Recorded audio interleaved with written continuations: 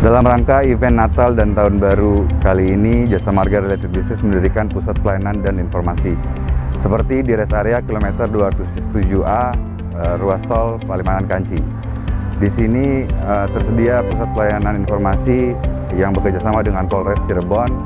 Juga terdapat pusat eh, pelayanan kesehatan yang bekerjasama dengan Jasara Harja, juga eh, pengisian nitrogen gratis dan juga terdapat stasiun pengisian kendaraan listrik umum eh, sehingga eh, para pengguna mobil listrik tidak takut untuk berkendara dengan mobil listriknya.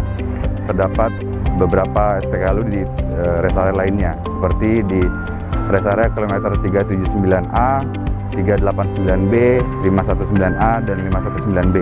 Intinya tetap patuhi rambu-rambu lalu lintas, tetap aman dalam berkendara dan tetap menjaga protokol kesehatan. Insya Allah rest area yang dikelola oleh Jasa Marga Related Business selalu dalam keadaan aman dan nyaman. JMRB Siaga Nataru.